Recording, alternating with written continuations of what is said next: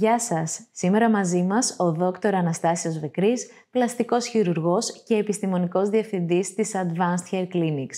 Γεια σας γιατρέ, ευχαριστούμε που βρίσκεστε εδώ. Εγώ σας ευχαριστώ για την πρόσκληση. Κύριε Βεκρή, αρκετά συχνά παρατηρούμε φρύδια που έχουν χάσει την πυκνότητά τους. Ποια είναι τα αίτια; Τα συνήθεια αίτια μπορεί να είναι υπερβολική αποτρίχωση που το παρατηρούμε κυρίως σε γυναίκες. Ε, μπορεί να είναι ακόμη σαν απότοκο τραύματος ή εγκάβματος στην περιοχή του προσώπου. Και επίσης δεν είναι σπάνιες οι περιπτώσεις που η αρέωση αυτή οφείλεται σε συγγενή αίτια. Με λίγα λόγια, κάποιοι άνθρωποι, θα το έχετε παρατηρήσει κι εσείς, έχουν από γεννησιμίου του, τα λέγαμε, πιο αραιά φρύδια από κάποιους άλλους. Σε αυτές τις περιπτώσεις, τι μπορούμε να κάνουμε, υπάρχει λύση; Η λύση που μπορούμε να προτείνουμε εμείς είναι χειρουργική. Γι' αυτό νομίζω είμαι εδώ. Ε, Προφανώς ε, γνωρίζετε καλύτερα από μένα ότι υπάρχουν και λύσεις ε, μη επεμβατικές, όπως είναι το τατού κτλ. Πολλές φορές καλούμαστε βέβαια να αποκαταστήσουμε κάποιο τατού που δεν έχει γίνει με σωστούς Γιατί; Γιατί αυτό που καλούμαστε να κάνουμε εμείς, με τον τρόπο που θα εξηγήσουμε μετά, είναι να δώσουμε στο φρύδι όχι μόνο μια μονοσήμαντη επίπεδη εμφάνιση, που μπορεί να προέλθει και με το make-up, με το μακιγιάζ ή με ένα τατού, αλλά να δώσουμε το 3D effect, να δώσουμε δηλαδή και όγκο στο φρύδι. Και ξέρετε πάρα πολύ καλά ότι, ειδικά τώρα στην εποχή μας, ένα πυκνό φρύδι με ωραία φυσική γραμμή ε, είναι το ζητούμενο από πάρα πολλές κυρίες. Θα έλεγα και από τους άντρε. Ε, στην περίπτωση αυτή, λοιπόν, η αποκατάσταση γίνεται με χειρουργικό τρόπο με μεταμόσχευση μαλλιών. Όπως κάνουμε στο τριχωτό της κεφαλής, μόνο που με ειδικές προδιαγραφές και με ειδικές τεχνικές το κάνουμε και στα φρύδια. Και με ποια τεχνική γίνεται; Η τεχνική που προτιμούμε εμείς είναι η FUE, γιατί επιτρέπει τη μεταφορά μεμονωμένων τριχοθυλακίων από εκεί που θέλουμε να τα μεταφέρουμε.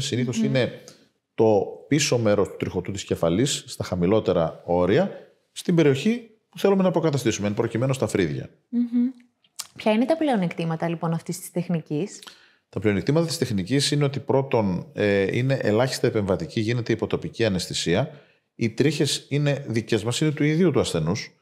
Προέρχονται από το κεφάλι συνήθως ε, και μάλιστα από περιοχές που μπορούμε να επιλέξουμε ώστε η υφή τους και η διάμετρός τους να ταιριάζουν με τις ε, τρίχες των φρεδιών όσο γίνεται. Mm. Και επίσης με τον ειδικό τρόπο εμφύτευσης που χρησιμοποιούμε να δώσουμε στις τρίχες του φρυδιού και εκεί είναι αν θέλετε και το δύσκολο σε μια μεταμόσχευση την κατάλληλη γωνία και κλίση ώστε να ταιριάζουν με τα φρύδια που ήδη υπάρχουν. Είναι μια εύκολη διαδικασία. Δεν θα έλεγα ότι είναι εύκολη. Ε, αφορά την αποκατάσταση μια, μιας πολύ μικρής ανατομικής περιοχής αλλά με πολύ συγκεκριμένα και ιδιαίτερα χαρακτηριστικά. Δηλαδή, ε, σχήμα σχήμα που πρέπει από τη στιγμή που έχουμε δύο φρύδια αριστερό και δεξί να υπάρχει μια συμμετρία.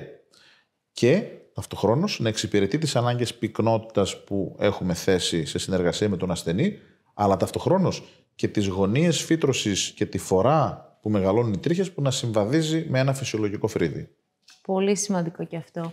Το αποτέλεσμα μετά από πόσο καιρό είναι ορατό; Επειδή τα φρύδια βρίσκονται στην περιοχή του προσώπου και λόγω πλούσιας αιμάτωση η επούλωση είναι γρήγορη και η ανάπτυξη των τριχών γρήγορη, πραγματικά ε, γίνεται εμφανές άμεσα το σχήμα, αλλά η μόνιμη φύτρωση των τριχών είναι εμφανής μετά τον τρίτο έως τέταρτο με την χειρητικό μήνα. Και το αποτέλεσμα θα φαίνεται φυσικό; Κοιτάξτε να δείτε, το αποτέλεσμα θα φαίνεται φυσικό υπό δύο προποθέσει. Υπό την προπόθεση ότι εμείς από τη μεριά μας έχουμε κάνει τεχνικά αυτό που σας περιέγραψα πριν, να δώσουμε τη σωστή πυκνότητα σωστή συμμετρία, φορά, διεύθυνση και γωνία στις τρίχες που εμφυτεύουμε και από τη μεριά βέβαια του ανθρώπου που έκανε αυτή την επέμβαση ή περιποίηση. Με κατάλληλο τρόπο, δεδομένου ότι οι τρίχες αυτές προέρχονται από το κεφάλι και έχουν μια τάση να μεγαλώνουν, να γίνεται μια φροντίδα κατά διαστήματα, ούτως ώστε οι τρίχες αυτές σιγά σιγά να αποκτούν τα χαρακτηριστικά της περιοχής στην οποία έχουν τοποθετηθεί. Mm-hmm. Α δούμε λοιπόν και κάποια αποτελέσματα που έχουν γίνει στην Advanced Hair Clinics, να, μα μας πείτε έτσι κάποια λόγια για κάθε περιστατικό. Βεβαίως. Ε, βλέπουμε μπροστά μας μία εικόνα που, αν είχαμε και την εικόνα πώς ήταν σχηματισμένο το φρύδι με make-up, ε, είναι η μέρα με τη νύχτα.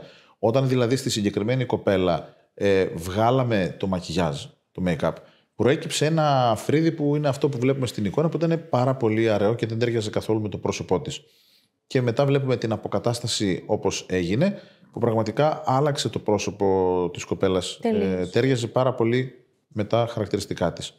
Ή εδώ μία περίπτωση όπου από προηγούμενες υπερβολικές θα έλεγα αποτριχώσεις το φρύδι είχε γίνει πάρα πολύ λεπτό και αδύναμο. Και ξέρετε, επειδή υπάρχει και μια απώλεια τριχών με την πάροδο της ηλικίας, mm. υποσυνείδητα ένα πολύ λεπτό αραιό φρύδι μας δίνει την εικόνα ενός ανθρώπου μεγαλύτερου σε ηλικία. Αυτό είναι ιδιαίτερα σημαντικό, ειδικά στις ε, κυρίες, γιατί τους ε, μεγαλώνει, τις δίνει Όταν λοιπόν έχουμε ένα φρύδι πιο σχηματισμένο, πιο πυκνό και, και πιο μεγάλο, αυτό συνήθως συμβαδίζει υποσυνείδητα με τη νεότητα. Άλλωστε και τα πυκνά φρύδια είναι στη μόδα. Ακριβώς. Απαιτείται ο ασθενής να ακολουθήσει κάποιο πρωτόκολλο περιποίησης εφόσον έχει υποβληθεί σε εμφύτευση φρυδιών; Όπως σας είπα και πριν, είναι σημαντικό και μάλιστα με μεθόδους που δεν είναι ιατρικές, έχουν να κάνουν καθαρά με την περιποίηση που εσείς οι κυρίες θα ξέρετε καλύτερα από μένα, όπου θα πρέπει να φροντίζουμε να έχουμε το σωστό μήκος στις τρίχες οι οποίες έχουν μια τάση να μεγαλώνουν. Άρα, κατά διαστήματα θα πρέπει να τις ε, κάνουμε λίγο πιο κοντε να τους δίνουμε την κατάλληλη φορά και με λίγα λόγια να τα περιποιούμαστε είτε με προϊόντα περιποίησης είτε με προϊόντα μακιγιάζ ώστε τελικά τελικά να πάρουν το σχήμα και τη μορφή που θελουμε Κύριε Βεκρή, κλείνοντας, πείτε μας και για την περίπτωση που κάποιος ασθενής ε, λόγω εγκάβματος έχει χάσει τρίχες από ε, την συγκεκριμένη περιοχή και μάλιστα τώρα για τα φρύδια που λέμε. Μπορεί να υποβληθεί έτσι σε εμφύτευση; Είναι από τις κατεξοχήν ε, περιοχές που πρέπει να γίνει αποκατάσταση. Γιατί ξέρετε τα φρύδια αποτελούν στοιχείο αισθητικής για ένα πολύ απλό λόγο. Αποτελούν το ορόσημο μεταξύ της περιοχής του μετόπου και της περιοχής των ματιών, της κεντρικής περιοχής του προσώπου. Όταν λοιπόν χάνονται τα φρύδια, όπως βλέπουμε εδώ, βλέπουν στους δέκτες οι τηλεθεατές μας, μία περίπτωση ανθρώπου που είχε ένα πολύ σοβαρό έγκαυμα. Φαίνεται περίεργη η εικόνα του, ε, αποκρουστική μπορεί να πει κάποιος, ε, με τεράστιο ψυχολογικό πρόβλημα για τον άνθρωπο που φέρει ένα τέτοιο τραύμα, για ένα πολύ απλό λόγο. Διότι φαίνεται το πρόσωπο ενιαίο, φαίνεται περίεργο. Και με την αποκατάσταση, με τη μεταμόσχευση μαλλιών, βλέπετε πώς το πρόσωπο γλυκαίνει και αλλάζει, γίνεται πιο φυσιολογικό, πιο normal. Επομένως, εγώ θα έλεγα ότι σε περιπτώσεις εγκαυμάτων ή τραυμάτων από ατυχήματα, π.χ. από τροχέα, η αποκατάσταση φρυδιών είναι αναγκαιότητα. Και όσες φορές το κάνουμε, πραγματικά τα αποτελέσματα είναι εξαιρετικά. Κυρίως, ξέρετε σε ποιο τομέα, στην ψυχολογία του ασθενούς αισθάνεται πολύ πιο φυσιολογικός ο ίδιος άνθρωπος. Η ψυχολογία παίζει πάρα πολύ σημαντικό ρόλο. Το μεγαλύτερο θα έλεγα. Ήταν χαρά μας που ήσασταν σήμερα κοντά μας. Θα χαρούμε να σας έχουμε φυσικά και άλλη φορά. Σας ευχαριστώ για την πρόσκληση.